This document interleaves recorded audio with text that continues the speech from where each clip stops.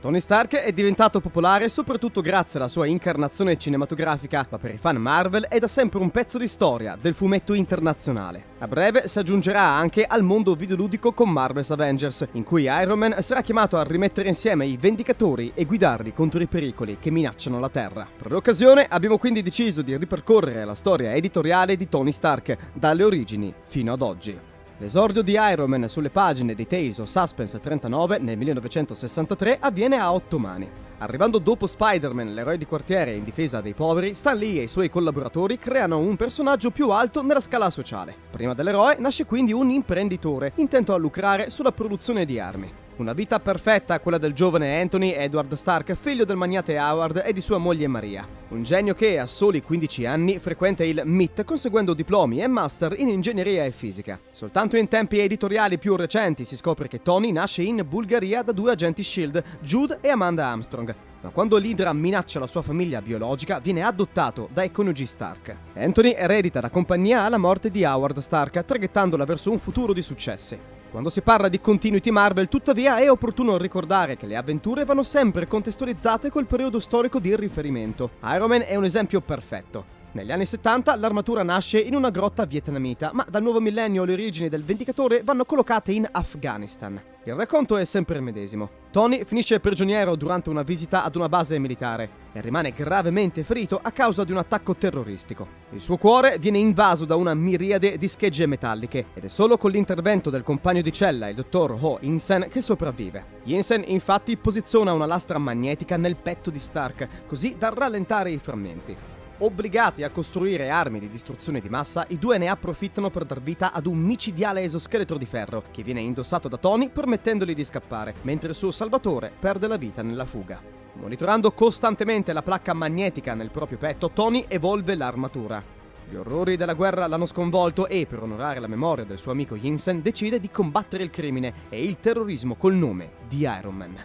Non tutti sanno che tra i suoi primi avversari ci furono Occhio di Falco e la Vedova Nera, i due futuri Avengers infatti erano inizialmente spie al soldo dei russi e quindi nemici naturali di Stark. Proprio come nell'universo cinematografico, già agli inizi della sua storia si accerchia di alleati. Il marine James Rhodey Rose, conosciuto durante la prigionia, e futuro War Machine, l'assistente Pepper Potts e la guardia del corpo Happy Hogan. Quasi sempre i nemici di Tony sono signori della guerra. Il suo più grande avversario, ad esempio, è il Mandarino, che si rivela il mandante della sua prima cattura. Ad aggiungersi alla lista troviamo potenti imprenditori che bramano la tecnologia Stark. Tra i primi avversari di Iron Man figurano anche Justin Hammer e Obadiah Stane. Il primo prosciuga i rifornimenti di armi della Stark Industries per finanziare il mondo criminale, ma viene presto sconfitto. Il secondo invece si rende protagonista del primo grande crollo emotivo di Tony.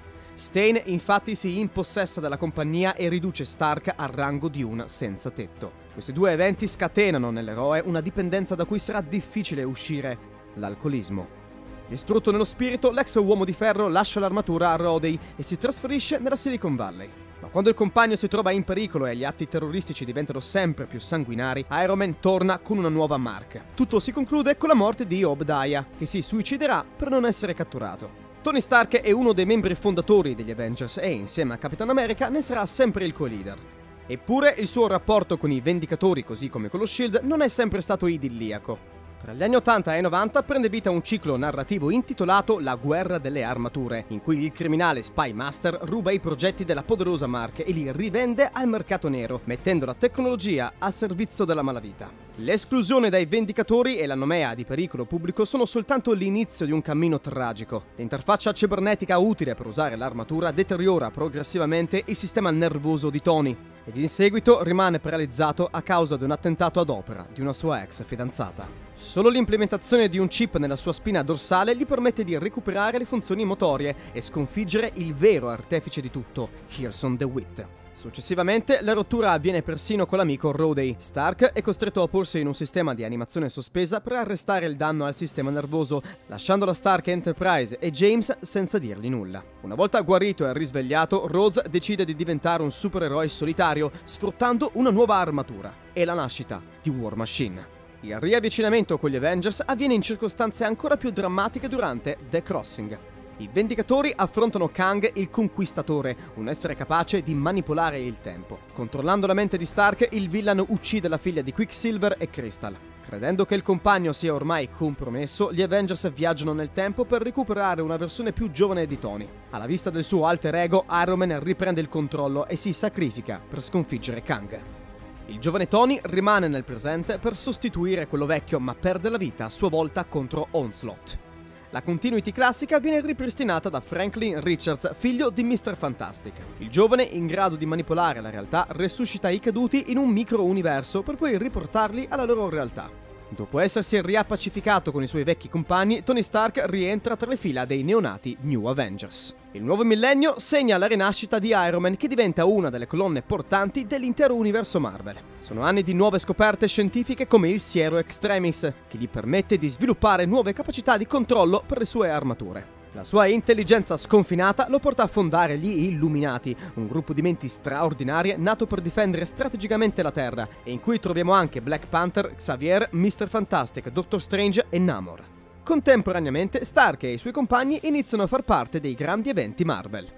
La prima fase dell'era moderna è scandita dal rapporto di amicizia e rivalità con Capitan America, che esplode con violenza in Civil War.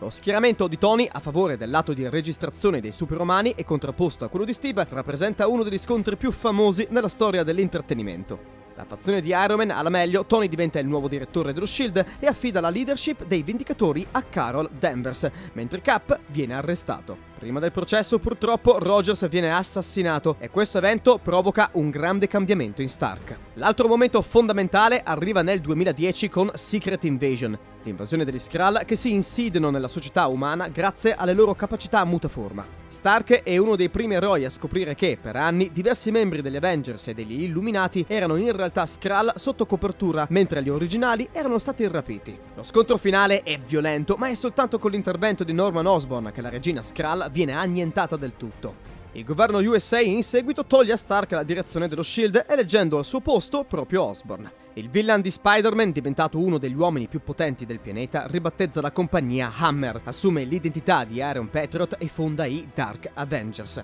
È l'inizio del Regno Oscuro. Nell'arco narrativo Dark Reign gli eroi sono ridotti in clandestinità dai Vendicatori Oscuri di Osborn, ma la furbizia di Stark riesce a prevalere. Davanti ad una schiera di giornalisti, Tony si induce volontariamente una lesione cerebrale e manda su tutte le furie Norman. Il villain, sapendo di perdere le conoscenze della mente di Stark, inizia a picchiarlo violentemente fino a ridurlo in coma. Tutto questo in mondo visione.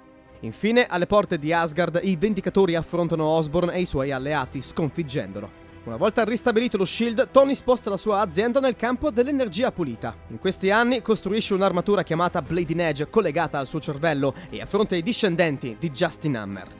Il grande rilancio editoriale nel ciclo di All New, All Different ha sancito un passaggio di testimone importante.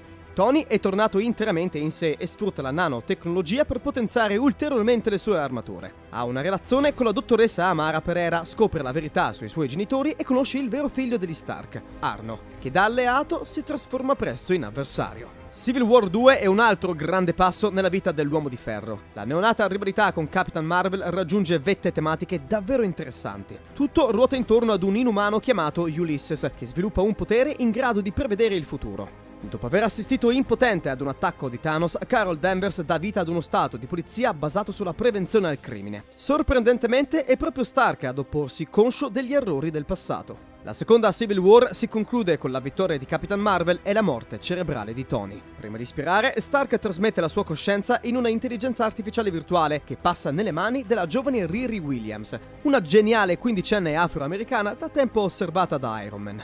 In seguito ad un esperimento fortuito che le permette di collaudare un'armatura simile alla Mark, Riri accoglie pienamente l'eredità di Tony.